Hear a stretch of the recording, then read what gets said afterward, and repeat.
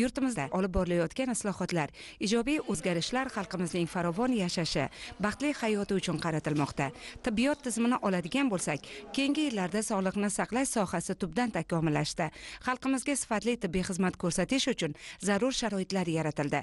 Ayniqsa aholining reproduktiv salomatligini mustahkamlash onalik va bolalikni muhofaza qilish yo'lidagi xayrli qadamlar bilan birga xavfli kasalliklarga qarshi kurashish oldini olish davolash uchun to'la imkoniyatlar ishga solindi. Pop namangan viloyatining chekka tumani hisoblanib ikki yuz yigirma besh ming nafardan ortiq aholisi bor. Hududda aholi salomatligini yaxshilash borasida samarali ish tashkil etilgan. Ayniqsa birlamchi tizimda mutloq yangi tajribalar joriy etilmoqda. Tibbiyotni xalqqa yaqinlashtirish uchun qilingan e, yo'l xaritamiz bo'yicha yigirma uchta yangi tibbiy punktlar tashkil etdik. Unda bir yuz yigirma xil dori darmonlar yetarli darajada xalqqa yetkazib berilyapti. Bundan tashqari birlamchi bo'g'imda qirq yoshdan oshgan aholini skrining tekshiruvlaridan o'tkazish yurak qon tomir kasalliklari endokrin kasalliklari hamda onkologik kasalliklarni erta bosqichlarda aniqlashga muvaffaq bo'lyapmiz. Mskt apparatimiz mana keldi ishga tushish arafasida bundan tashqari zamonaviy laboratoriya apparatlari bilan jihozlanganligi hamda beshta portativ rentgen apparatlari bilan jihozlanganligi. Undan tashqari gemodializ apparati to'rtta berildi. Mana shu gemodializ apparatida hozirgi kungacha ikki yuz sakson yetti nafar bemor e, gemodializ e, muolajalarini olgan bo'lib bunda uchta tumanda chust hamda mingbuloq pop tumanlarining e, bemorlari hozirgi kunda davolanishmoqda. Tumanda bitta markazlashgan kasalxona oltita oilaviy poliklinika o'n to'rtta oilaviy shifokorlik punkti mavjud bo'lib ularning barchasida bugungi kunga mos qulaylik va imkoniyatlar yaratilgan. Eng asosiy maqsad tibbiy xizmatni aholiga yaqinlashtirishga qaratilganidir. Buni birgina tibbiyot birlashmasining laborator tahlillari misolida ham ko'rishimiz mumkin. Kasallikni erta aniqlashda juda muhim ahamiyatga ega laboratoriya. Bizning markazda ham boshqa markazlarga o'xshab zamonaviy asbob uskunalar bilan jihozlangan. Mana bizda ifa analizatorimiz bor pcr analizatorimiz barcha turdagi klinik bioximik analizatorlarimiz bor. Hamda hamma analizlarni qilamiz. Kshs apparatlarimiz ham bor hozir bizda. Natijasi tezroq chiqadi. Avvallari bizda sekin muddatda natija chiqadigan bo'lsa soatlab chiqadigan bo'lsa hozir soatlab shart emas. Minutlarda ham analiz natijalari chiqyapti. Tuman viloyatning magistral yo'li bo'yida joylashgani uchun nafaqat mazkur hudud aholisi qolaversa qo'shni tuman viloyatlardan keluvchi bemorlarga ham xizmat ko'rsatadi. Bu albatta ham mas'uliyat ham yetarli sharoitlarni yaratish degani aynan ushbu maqsad yo'lida qo'shma shikastlanish va o'tkir qon tomir kasalliklari bo'limi faoliyati yo'lga qo'yildi. Tumanlararo qo'shma shikast va o'tkir qon tomir kasalliklari markazi bo'lib ochildi. Olti yuz yigirma ming to'rt yuz aholiga xizmat ko'rsatadi va bunga mingbuloq va chust tumanilar kirib xizmat qilamiz markazimizda oltmish koykadan iborat e, bularda e, o'n ikkita reanimatsiya koykasi bilan birgalikda.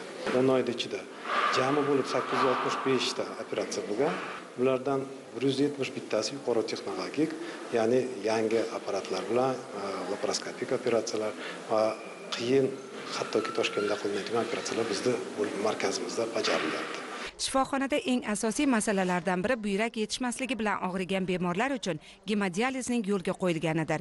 Shu yilning sentyabr oyida sog'liqni saqlash vazirligi tomonidan to'rtta gemodializ uskunasi olib kelib o'rnatildi va bugungacha to'rt yuz nafardan ortiq bemorda qo'llanildi. Pop tumani yangiobod qishlog'ida turaman. O'g'lim ikki ming o'n beshinchi yil avtovariya bo'lgan. Mana shu ikki ming o'n beshinchi yildan beri gemodializ bo'yicha e, olib turardi. Uzoq joylarga borardik. Namanganga shahariga. Olib ketardik ba'zi mahalda qiynalardik. O'zimizga olib kelishdi. Yaxshi. Davlatimizga rahmat. Hozirgi kunda o'ttiz nafar gemodializga muhtoj bemorlar bor. Navbatma navbat gemodializga muhtoj bemorlarga xizmat ko'rsatamiz. Reanimatsiya bo'limida yo e, avtoavariya natijasida buyrak yetishmovchiligi bo'lgan bemorlar bo'lsa ularga ham e, o'z vaqtida shu gemodializ amaliyotini o'tkazishda imkoniyati bor. Oldinlari yuz ellik kilometrga borib yuz ellik kilometrga uyiga qaytib kelgan kunlari bo'lgan hozir yigirma o'ttiz kilometrga keladi navbatdagi gemodializni oladi va uyiga yana qaytib ketish imkoniyati bor. Tumanning birgina markaziy shifoxonasida to'rt yuz to'qsonta o'rin mavjud bo'lib shu yilning to'qqiz oyi mobaynida yigirma uch ming to'rt yuz ikki nafar bemor davolangan. Olis hududda murakkab jarrohlik amaliyotlarining yo'lga qo'yilgani esa tibbiy xizmat ko'rsatishning yangi bosqichga olib chiqilgani ifodasi. Neyroxirurgik bosh miya shikastlarida umurtqa pog'oni orqa miya shikastlari bosh miyaga qon quyilishi insult kasalliklarini operativ yo'l bilan davolashni yo'lga qo'yganmiz. Jarrohlarimiz tomonidan laparoskopik operatsiyalar travmatologlar mutaxassislarimiz tomonidan bios usulida e, naysimon suyaklarni osteosintezlarini yo'lga qo'yilindi. Ayni damda navbatdagi bemorimizda shu murakkab bosh miyada amaliyotni rejalashtirganmiz. Bugungi kunda bemorda to'rt oydan keyin e, bosh miyani shu suyak defektini kranioplastikasi amaliyotiga tayyorlaganmiz va ayni damda bemor operatsion xonada o'ng chakka suyagini e, rezeksion dekompressiv tripanatsiyasi va e, bosh miyadan epidural gematomani olish amaliyotini o'tkazilingan bemor to'rt oy oldin hozirda endi bemorni shu o'ng chakka suyagidagi posttrepanatsion defektni protokril yordamida kranioplastikasi amaliyotini e, o'tkazishga bugun rejalashtirganmiz. Ayni damda shu operatsiya amalga oshiramiz. Tumanda raqamlashtirish jarayonlari ham yo'lga qo'yilyapti. Bemorlarning elektron ro'yxati shakllantirilib bo'lindi va har bir hududdagi tibbiyot maskanlariga internet ulanib bemorlarning kasallik tarixini bilish imkoni yaratilmoqda. Maqsad ortiqcha qog'ozbozlikni bartaraf etish doktorlarimizda ishlash ish faoliyatini e, tezlashtirish. Bosqichma bosqich amalga oshiriladi bu. Kasallik tarixi oldinlari qog'oz variantda bo'lardi. Hozir bu elektron tizimga o'tyapti. Buni yigirma bitta hududimizda xohlagan joydan ko'rish mumkin. Ma'lumki tibbiyotning birlamchi bo'g'ini aholi salomatligini saqlash jamiyatda sog'lom turmush tarzini qaror toptirishda katta ahamiyatga ega. Tumanning ko'p tarmoqli markaziy poliklinikasida har bir vazifa o'z ijrosini topmoqda. Ya'ni avvalo bolalar bo'limi tashkil etildi. Bundan tashqari ayollar maslahatxonasida onkoskrining tekshiruvlar tibbiy ko'riklarga e'tibor qaratilmoqda. Ko'p tarmoqli markaziy poliklinikamiz ikki yil avval ta'mirdan chiqib hozirgi kunda o'ttiz uch ming ikki yuz oltmish to'rtta aholiga o'n to'rt toifada tor mutaxassislar va o'n beshta umumiy amaliyot shifokorlari tibbiy xizmat ko'rsatadi. Ayol sog'lom bo'lsa oila sog'lom bo'ladi. Shuning uchun skrining o'tkazyapmiz. o'ttiz besh ellik besh yosh qirq besh e, oltmish besh yoshdagi ayollarimizni onko nazoratxonasi tashkil etib ayollar maslahatxonasida bularda onkolog kasallikni erta aniqlash uchun skrininglar o'tkazyapmiz. Poliklinikamizda hozirgi kunda ensefalografiya uzi apparatlarimiz ayollar uchun skrining e, apparatimiz uzi apparatimiz bor. Maqsadimiz aholiga malakali tibbiy xizmat ko'rsatish ko'rsatish avvalgi yillarda tumandagi ko'plab tibbiyot muassasalarining optimallashtirilishi natijasida chekka qishloqlardagi ayrim poliklinikalar faoliyati to'xtatilgan edi.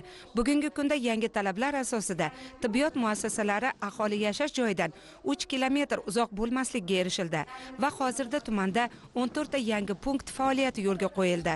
Bundan tashqari bir necha oilaviy poliklinikalarni bosqichma bosqich ishga tushirish rejalashtirilgan. Mahalla fuqarolar yig'inlarida konteynerlar ya'ni tibbiyot punktlari ochildi. Bu tumanimizda jami yigirma uchta mana shunday konteynerlar tashkil qilingan mana shu biz xo'jobod oilaviy shifokorlik punktimiz uchta mahalla fuqarolar yig'iniga xizmat ko'rsatadi endi mana shularni ichida chortoq mahalla fuqarolar yig'ini oilaviy shifokorlik punktidan uch kilometr olisda bo'lganligi sababli aholiga qulaylik yaratish maqsadida mana shu tibbiyot punkti tashkil qilindi bu tibbiyot punktida alohida bitta tibbiy brigada faoliyat ko'rsatadi bunda umumiy amaliyot shifokori patronaj hamshiralar umumiy amaliyot hamshiralari faoliyat ko'rsatib kelishmoqda.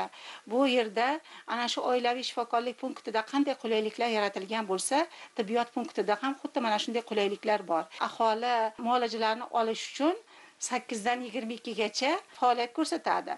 Bolalarga milliy emlashlar qilinadi.